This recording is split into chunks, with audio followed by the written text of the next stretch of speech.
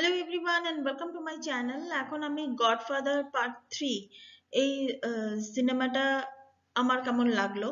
তো এটা দেখতে একটু দেরি হয়ে গেছে। তো যাই হোক, এই সিনেমাটা আমার কেমন লাগল? খুব কষ্ট করে মানে জোগাড় করেছি সিনেমাটা সেটা নিয়ে আপনাদের সামনে এসেছি। তো অবশ্যই এটা এটা একটা ডিসকাশন বলতে পারেন। কারণ এই ধরনের মাস্টারপিস সিনেমা নিয়ে আমার ভালো লাগল, আমার এটা খারাপ লেগেছে, ওটা খারাপ লেগেছে। দেয়ার ইজ নো পয়েন্ট তো ফ্রান্সিস ফ্রড কোপলে কোপলার যে সিনেমাটা উনি এটা করেছেন, এখানে সময়টা দেখাচ্ছে। প্রথমে বলে নিই সিনেমাটা রিলিজ কবে করেছিল? এটা উনিশশো নব্বই সালে রিলিজ করেছে এবং এই সময়টা কিন্তু এগিয়ে নিয়ে গেছে। মানে উনিশশো উনআশি সাল।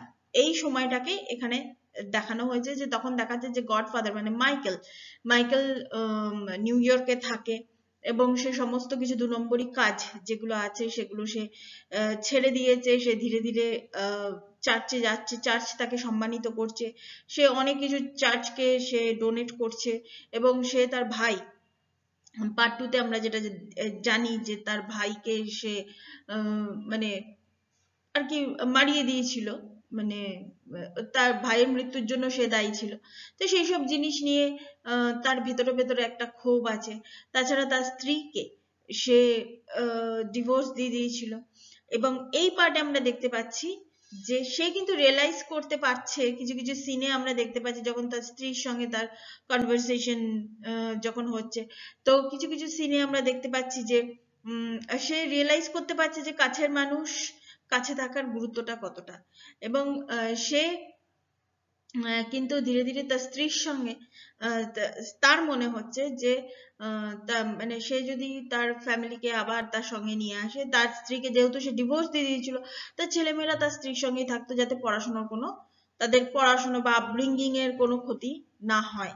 কারণ গডফাদার মানে স্বাভাবিক ব্যাপার মাইকেল যে ধরনের কাজ করতো এটার এফেক্ট তো তার ছেলে মেয়েদের ওপর এসে পড়তো এটাই স্বাভাবিক ব্যাপার।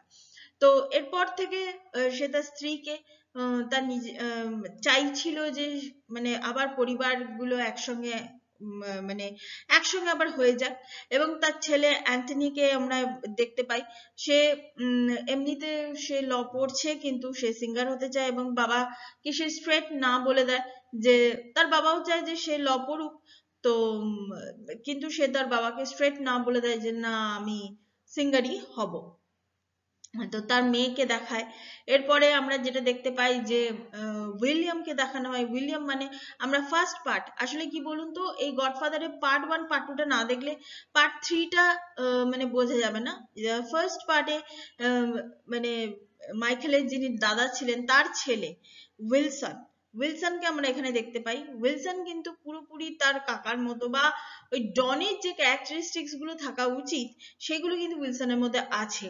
এবং এখানে দেখাচ্ছে যে উইলসন কিন্তু খুব সুন্দরভাবে মানে জায়গাগুলোকে মানে আপনারা সিনেমাটা দেখলে আপনারা বুঝতে পারবেন যে জায়গাগুলোকে না মানে ওই যে আলটিমেটলি যে সে তার মানে কাকার মতো যে আস্তে আস্তে হয়ে যাচ্ছে, এই জিনিসটা কিন্তু খুব সুন্দরভাবে এখানে দেখানো হয়েছে। এরপর আমরা যেটা দেখতে পাই যে গডফাদার মানে সরি মাইকেল মাইকেল কিন্তু সে একটা কোম্পানি যেমন ইমরলেস ইমোবেলেস বলে একটা কোম্পানি আছে মানে এই মুহূর্তে নামটা মনে পড়ছে না। যেটা হচ্ছে রিয়েল এস্টেটের কোম্পানি এবং সে সেই কোম্পানি সে টোয়েন্টি ফাইভ পার্সেন্ট শেয়ার সে নিয়ে নেয়। তারপর এরপরে মানে ঘটনাগুলো কিন্তু অনেক বেশি ইন ডিটেলিং আছে।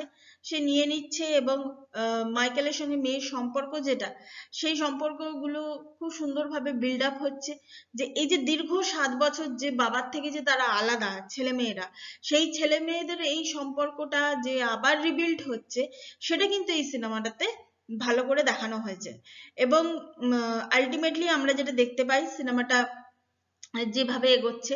আমরা যেটা দেখতে পাই যে উইলসন উইলসন কিন্তু এরপর কিন্তু গডফাদারকে মানে মাইকেলকে কিন্তু অনেকে মারতে চায়। তো এর মধ্যে একটা উল্লেখযোগ্য নাম যেটা সামনে চলে আসে, সেটা হচ্ছে ডন, ডনের একটা পার্ট মানে ডনের একটা পার্ট মানে হচ্ছে ডন যারা আছে মানে তাদের যে একটা গ্রুপ আছে, সেই গ্রুপের একজন, সেটা হচ্ছে অ্যান্টাবিলিও বলে একজন ভদ্রলোক আছেন, ভদ্রলোক বলব না, তাকে ডনই বলব আমি, তো যাই হোক, ওই যে ডন আছে, তিনি আছে হচ্ছে মাইকেলকে তিনি মারতে চান। তো তিনি অনেক রকমের ষড়যন্ত্র করেছেন এবং তারপর উইলসন উইলসন কিন্তু ডনকে যেটা করেছে, তাকে কিন্তু ম্যানিপুলেট করা শুরু করে দেয়। এবং শুরু করে দেয় কার নির্দেশে? সেটা কিন্তু নির্দেশটা ছিল কিন্তু মাইকেলেরই নির্দেশে মানে অ্যালপাচিনোর নির্দেশে।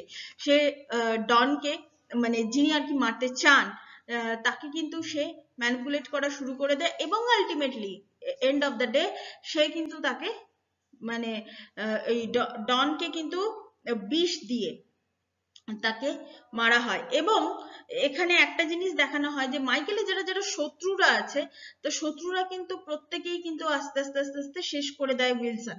এবং উইলসনের মধ্যে যে জিনিসটা দেখানো হচ্ছে যে, উইলসন কিন্তু পুরোপুরি আর কি ডন যে ব্যাপারটা, যে মানে মাইকেলের মানে আলপাচিনোর যে অরাটা ছিল, সেই অরাটা কিন্তু পুরোপুরি ও ক্যাপচার করে নিচ্ছে। এবং মাইকেল কিন্তু তাকে বারণ করছে যে, তুমি এই খুন, খারাপি, এই জিনিসগুলো করো না। আলটিমেটলি কিন্তু এটা তোমার গায়ে লাগবে এবং সিনেমা শেষের দিকে একটা খুব বাজে ট্র্যাজেডি হয় মাইকেলের সঙ্গে, সেটা হচ্ছে তার তাকে মারতে আসা একজন মানে কন্ট্রাক্ট কিলারই আমি বলব সে তার মেয়েকে মেরে ফেলে মানে ওটা ভুলবশতই হয়ে যায়। কিন্তু ওটাই হচ্ছে ব্যাপার যে তুমি যত মানে যতই তুমি পাওয়ারফুল লোক হও না কেন, তোমার গায়ে, ওই যে বলে না যে দামন মে খুন কা ধব্বা আগর লাগ যায় তো উসকা আসর তো মানে দিখে গায় তো এবার ও গডফাদার যে মানে মাইকেল, সে যে কতজনকে মেরেছে, বিশেষ করে আমার তো সেকেন্ড পার্টে তার ভাইকে যখন সে মানে তাকে মারার যখন সে নির্দেশ দিচ্ছে মানে আমার ওই সিনটা না মানে আমার নিজেরই কেমন একটা যেন লেগেছে। মানে কোনো ভয়েস সিন নয়, কিছু নয়, কিন্তু আমার নিজের ভেতর থেকে একটা কেমন লাগছিল যে মানে একটা মানুষ কতটা রুথলেস হলে সেই মানুষটা এরকম করতে পারে। এবং ওই যে ঠান্ডা মাথায়, শান্ত মুখে যে রুথলেসের যে ব্যাপারটা, সে, সেই জিনিসটা কিন্তু অ্যালপাচিনো খুব সুন্দর ভাবে এটা ফুটিয়ে তুলেছেন। এবং আলটিমেটলি তার মেয়ে যখন মারা গেল, তখন ওই লাস্ট সিনটা লাস্ট সিনটা দেখে সত্যি আমার খুব মানে আমার নিজেরও একটা কেমন হচ্ছিল যে লাস্ট সিনটা ওই যে তার যে আর্তনাদ আর্তনাদ মানে হচ্ছে এই যে সে যে অন্যায়গুলো করে এসছে, এই যে সে মানুষকে মেরেছে বা রক্তপাত করা হয়েছে, সেই এই এই যে আর্তনাদটা, এই আর্তনাদটা মানে যে সে যে কি সুন্দরভাবে সে ফুটিয়ে তুলেছে মানে এটা সত্যি কথা বলতে ডেসক্রাইব করা যায় না।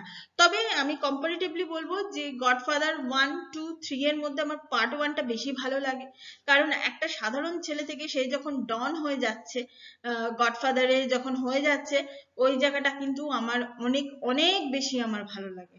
মানে পার্ট টু পার্ট টুতে আলটিমেটলি যেটা দেখাচ্ছে যে ওই সিসিলিতে মানে যেখান থেকে তার বাবা তার সাম্রাজ্য বিস্তার করেছিল সেই সিসিলিতেই একটা মানে নদী বা পুকুর, যাই হোক, একটা জলাশয়ের ধারে সে বসে আছে, একটা বেঞ্চে বসে আছে সাডেনলি তার, সে বেঞ্চ থেকে পড়ে যায় মানে এটা আমরা বুঝতে পারি যে তার মৃত্যু হয়। তো এটাই ছিল গডফাদার থ্রি এর গল্প। মানে আলটিমেটলি পরিণতি, এই ধরনের মানুষদের পরিণতি সবসময় ভালো হয় না। হ্যাঁ তা তা বলে কি এই ধরনের মানুষ পৃথিবীতে নেই? আছে, একদম আছে। এবং তারা হয়তো পরিণতির কথাটা জেনেই হয়তো মানে তারা সবসময় বলে যে আমার শক্তি চাই, আমার পাওয়ার চাই, যেটা উইলসন মানে মাইকেলের পরবর্তী, মাইকেলের সিংহাসনে যে বসল, উইলসন, তার ভাইপো, সে সবসময় বলে যে আমার ফ্যামিলিকে প্রোটেক্ট করার জন্য আমার পাওয়ার চাই। তো এইভাবেই গল্পটা এখানে শেষ হয়ে যায় part one part two and part three তো এখানে আমি বলব যে গডফাদার এই সিনেমাটা এটা তো ক্লাসিক মুভি তো, এটা বলার কোনো অপেক্ষা রাখে না। তার উপর অ্যালপাচিনোর অভিনয়, ঠান্ডা মাথায় সে যে কতটা ব্রুটাল হতে পারে সেটা সে দেখিয়ে দিয়েছে এই অভিনয়টার মাধ্যমে। যথেষ্ট কন্ট্রোভার্সি ছিল এই মানে সিনেমাটা নিয়ে। এই যে গডফাদার নামটা নিয়ে বাপটিস্ট মতে গডফাদার মানেটা কি? সেই মানেটার একদম পুরো উল্টো ভাবে এই জিনিসটা সামনে আনা হয়েছে। মানে সেটা নিয়ে একটা বিতর্ক কন্ট্রোভার্সি ছিল। সমস্ত কিছুই ছিল এই সিনেমাটার মধ্যে। তবুও কিন্তু সিনেমাটা ক্লাসিক ক্লাসিক মানে কি অনেক দিক দিয়ে ক্লাসিক এখানে কিন্তু আন্ডারটোন অ্যাক্টিং মানে অ্যালবাচিনোর যে যে মানে রুথলেস নয়, সবসময় চিৎকার করে, গর্জন করে মানে ড্রামা করে যে সবসময় ড্রামা ওখানেও আছে। এই যে আন্ডারটোন অ্যাক্টিং যেটা, এই আন্ডারটোন অ্যাক্টিংটা কিন্তু বিভৎস লাগে। মানে দারুণ লাগে। একটা সবসময় কেন না একটা গা হিম করার যে ব্যাপারটা, ওই যে বললাম আমার এই তিনটে পার্টের মধ্যে সবচেয়ে আমার ওই পার্টটা মনে হয়েছিল যখন সে তার ভাইকে জড়িয়ে ধরছে এবং আরেকজনকে নির্দেশ দিচ্ছে যে আমার ভাইকে তুমি মানে ভাইকে কি খতম করে দাও। মানে এই যে মানে এই যে সিনটা এই এই সিনটাতে সত্যি আমার মানে আমার ভেতর থেকে মানে আমাকে নাড়িয়ে দেওয়ার মতো এই সিনটা ছিল। তো এটাই ছিল গডফাদার পার্ট থ্রি মানে আলটিমেটলি আমি গডফাদারের তিনটে পার্টই আমি দেখে ফেললাম। সো মানে সত্যি ক্লাসিক মুভি ক্লাসিকই হয়। তো এটাই ছিল আমার রিয়াকশন বলতে পারেন ডিসকাশন বলতে পারেন, যাই হোক। So, thank you so much, that's all. Please keep watching and please subscribe my channel. Then good goodbye.